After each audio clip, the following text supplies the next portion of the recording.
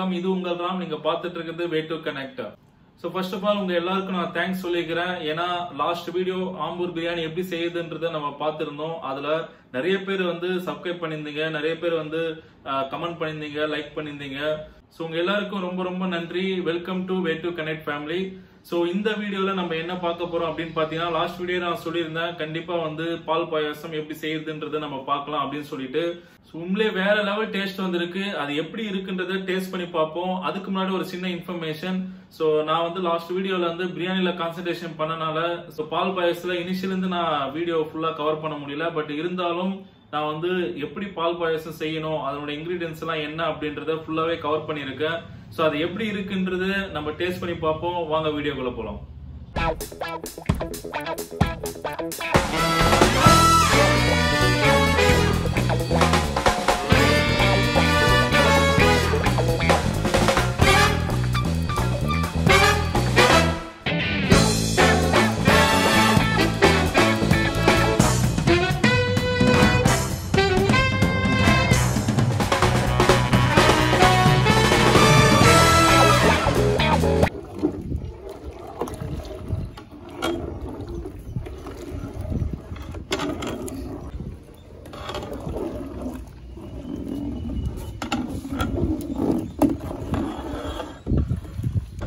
இப்போ இந்த பாயசத்துல வந்து என்னென்ன நீங்க ஸ்டார்டிங்ல இருந்து இப்போ ஃபர்ஸ்ட் எப்படி பண்ணணும் இது?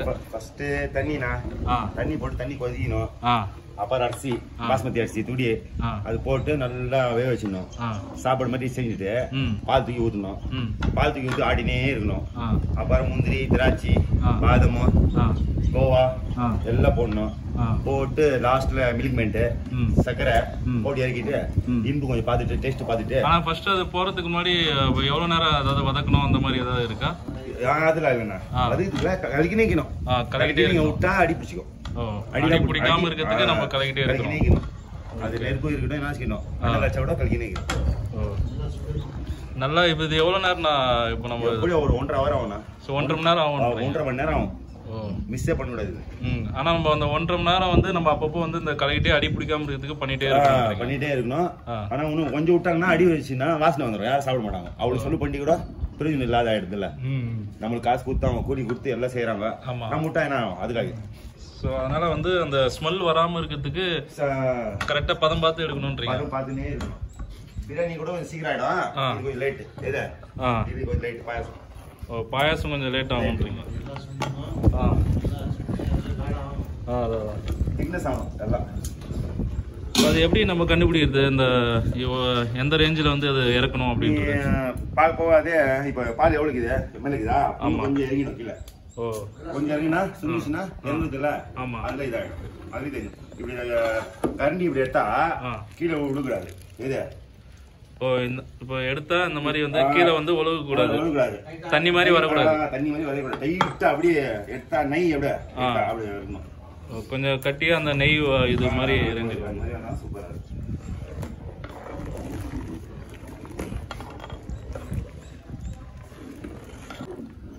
இது கண்டினியூஸா அப்படியே கலக்கிட்டே இருக்கணுமா? அது மிஸ் பண்ணாங்கன்னா அடி அடி பிடிச்சிக்கும்?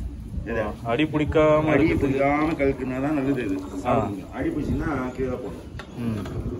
பால் இதுல ஆமா. பால் காய் ஆடினே மிஸ் பண்ணுனா அவ்வளவுதான். சொல்லுங்கண்ணா ஐஸ்கிரீம் மாதிரி ஆயிடும். நீ ஃப்ரிட்ஜ்ல வச்சா ஒரு பத்து நாள் வச்சு சாப்பிடலாம். சூப்பரா இருக்கும் இன்னும். இன்னும் டேஸ்டா வரும். அதாவது ஃப்ரிட்ஜில் வச்சு பத்து நாள் வச்சு. சாப்பிடலான்றீங்க. அப்படியே ஐஸ்கிரீம் மாதிரி ஆயிடும். ம் ம், ம். அது யாருக்கு தெரியுதுல போட்டு வச்சா நீங்க சாப்பிட்டு பாருங்க. சொல்லுவாங்க சூப்பரா இருக்கும். ஆனா அந்த டென் டேஸ்ல எதுவும் ஸ்மெல் எல்லாம் வராதா? நம்ம ஃப்ரிட்ஜில் வச்சு ஃப்ரிட்ஜ் சாப்பிடும் வச்சா ஐஸ்கிரீம் மாதிரி ஆயிடும். அதே கட்டி ஆயிடும். ஐஸ் மாதிரி சூப்பரா இருக்கும். சாப்பிடுது புரியுது புரியுது.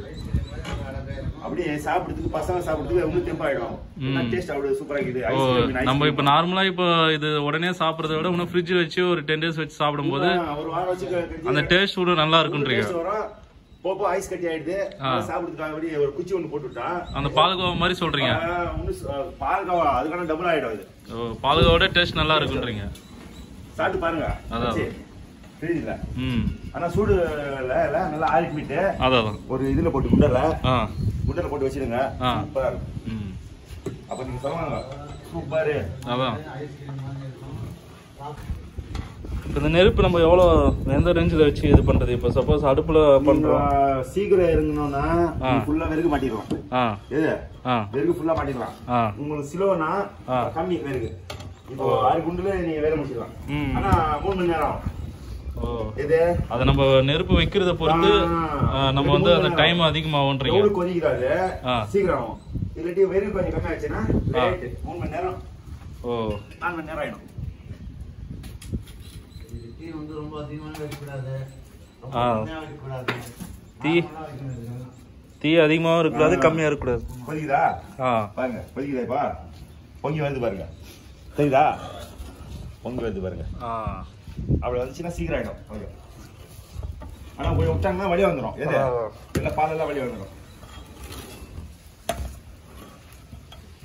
ஸோ கொதி வருது அண்ணன் ஜாஸ்திக்குது அதான். அது கணக்குல கொதி ஜாஸ்தி வருது அது ம் அதுதான் தூக்கிடுது இதெல்லாம்? ம். இல்லாட்டி வழியே வந்துடும் அது பாலெல்லாம் அரிசி கிசி எல்லாம் வெளியே போயிட்டு? ம். எல்லாம் கீழே போயிடும். தண்ணி இருக்கும் தண்ணி கொஞ்சம் அப்பப்போ ரொம்ப கொதி வரும்போது லைட்டாக தண்ணி ஊற்றிக்கலான்றீங்க ஃபுல்லா வெளியே வர டைம் தண்ணி அடிக்கணும் அப்படி. அதான் அதான். அது கணக்கு. இப்போ இதில் ஏதோ போட்டிங்களே என்னண்ணா அது? நெய். நெய் வந்து ஆட் பண்ணுமா நெய் வந்து ரெண்டு தடவை ஆட் பண்ணணும். ஓ. கொச்சி இருக்கும்போது பாதி ஆட் பண்ணிடணும். ஆ. கீழே இறங்கிட்டு சக்கரை எல்லாம் போட்டு கொஞ்சம் ஆட் பண்ணணும் மேலே. இப்போ இதில் வந்து இன்னும் நீங்கள் சர்க்கரை ஒன்றும் போடல? சக்கரை மில்க் மேடம் எல்லாம் ஒன்றும் போடல. ஒன்றும் போடல. கோவா போட்டுட்டு தான் இறக்கணும் சக்கரை மினிக் மீட் வந்து கீழே இறக்கிட்டு தான் போடணும். அப்படி போட்டா அடி பிடிச்சிடும் கோவா போட்டு கோவா போட்டு நல்லா கிண்டிட்டு? ரொம்ப டைட் ட்ரீட்மெண்ட்டு கீழே இறக்கி சக்கரை போடணும். மேலே சக்கரை போட்டாக்கா தண்ணி மாதிரி இதே மாதிரி தான் இருக்கும் அதுக்கு இன்னும் ஒரு மணி நேரம் வச்சணும் ம். இது டைட் ஏற்றிக்கிட்டு ஆ. கீழே பண்ணணும் சக்கரை எல்லாம் ஓ.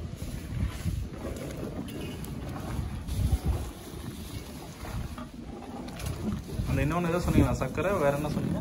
மீட் சக்கரை மில்க் மேடு கீழே இறக்கி பண்ணுவோம் ஸோ அவங்க என்ன சொல்றாங்கன்னு பார்த்தீங்கன்னா இதில் வந்து இந்த இந்த பால் பாயசத்தில் வந்து இப்போ வந்து எல்லாமே நம்ம சொன்ன அந்த இன்க்ரீடியன்ஸ் எல்லாம் போட்டு இப்போ ஆட் பண்ணி பண்ணிட்டு இருக்காங்க. ஸோ இது கூட இது முடிச்ச அப்புறம் கீழே இறக்குன அப்புறம் சர்க்கரை ப்ளஸ் வந்து இந்த மில்க் மேட்னு சொல்லிட்டு அதாவது மிட்டாய் மேட் அப்படின்னு சொல்லிட்டு இருக்கு. ஸோ நான் இதை காமிக்கிறேன் பாருங்க. ஸோ அமுல் பிராண்டில் வந்து அவங்க வந்து இதை ஆட் பண்ணுறாங்க ஸோ அதாவது இறக்கிட்ட அப்புறம் சர்க்கரையும் ஸோ இந்த அமுல் மிட்டாய் மேட் அப்படின்னு சொல்லிட்டு ஒன்று போட்டிருக்காங்க. ஸோ இதை ஆட் பண்ணி அதுக்கப்புறம் கலக்கணும். அப்படிதான்னா ஸோ கலக்கிட்டே இருக்கணும் அதுக்கப்புறம். இப்போ ஓரளவுக்கு நல்லா வந்திருக்கு பாருங்கள் ஸோ அந்த திக்னஸ் வந்திருக்கு. இன்னும் கோவா போட்டால் திக்னஸ் வரும். கோவா ஆ, கோவா போடும்போது அரிசியெல்லாம் வந்து இன்னும் மதரல இன்னும் மதரணும். ஆ. நல்லா வெந்து மிளறணும் இன்னும் காடா ஏறணும் டைட் ஏறணும். கோவா போட்ட உடனே இன்னும் டைட் ஏறும் ஏறிட்டு மட்டும் ஏறி நிற்கும் இப்போ நம்ம வந்து பார்த்தீங்கன்னா இப்போ அந்த பால் போட்டு எல்லாமே மிக்ஸ்அப் பண்ணி பண்ணிட்டு இருக்காங்க இந்த பால் பாயாசம். ஸோ அது எப்படி இருக்குன்றது பார்க்கலாம்.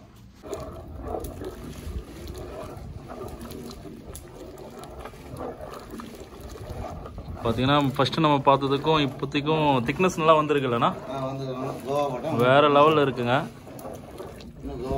இன்னும் கோவா போடல. இன்னும் திக்னஸ் ஆகும். இன்னும் திக்னஸ் வரும். ஓகே இப்போ பயங்கர ஹீட்டாக இருக்குது பட் பார்க்கவே வேறு லெவலில் இருக்குது டேஸ்ட் எப்படி இருக்குன்றது பார்ப்போம்.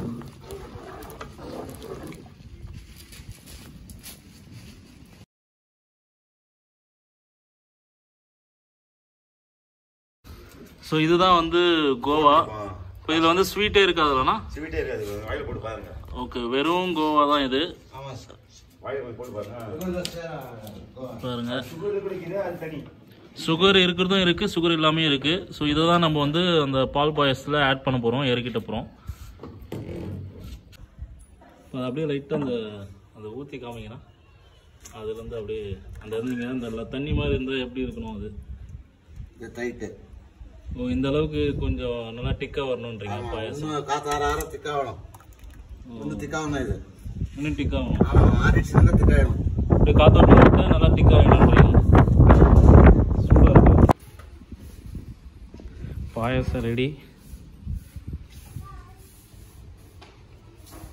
இப்போ அதில் என்னென்ன ஆட் பண்ணுறீங்க இது சக்கரை மில்க் நெய். டைட் ஆகணும்னா இதெல்லாம் ரெடி பண்ணி கொடுத்துடணும்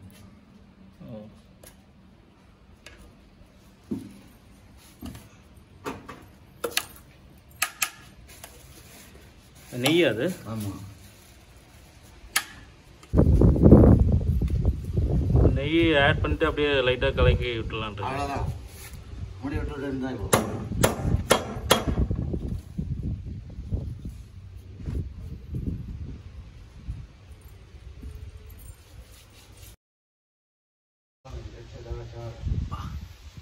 வேற லெவலுங்க உண்மையிலே சூப்பராக இருக்கு. ஸோ எல்லா டேஸ்ட்டுமே கரெக்டாக இருக்கு. ஸோ நீங்களும் டேஸ்ட் பண்ணி பாருங்கள்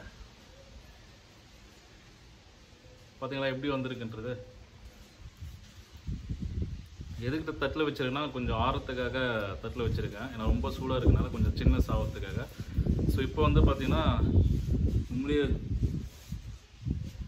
சூப்பராக இருக்குது இந்த பால்கோவா டேஸ்ட் இருக்குது ஓகே இப்போ நம்ம வந்து பால்கோவா எப்படி செய்யறதுன்றது டீட்டெயிலாக பார்த்தோம்.